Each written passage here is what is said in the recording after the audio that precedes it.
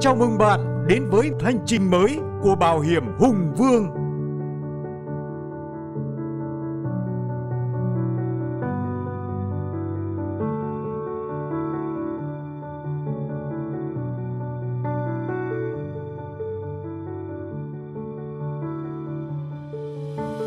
Mỗi cá nhân là tế bào quan trọng nhất của tổ chức.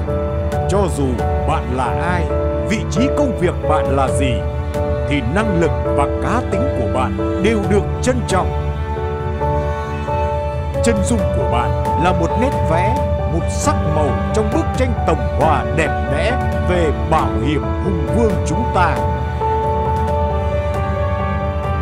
Và chúng ta chỉ có thể phát huy sức mạnh tối đa khi chúng ta có một đội ngũ với những người biết rõ mình là ai, mình có những thế mạnh nào.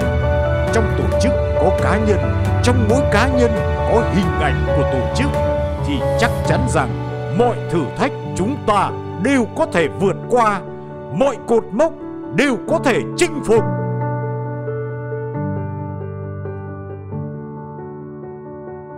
Cảm ơn bạn vì đã là một phần của chuyến hành trình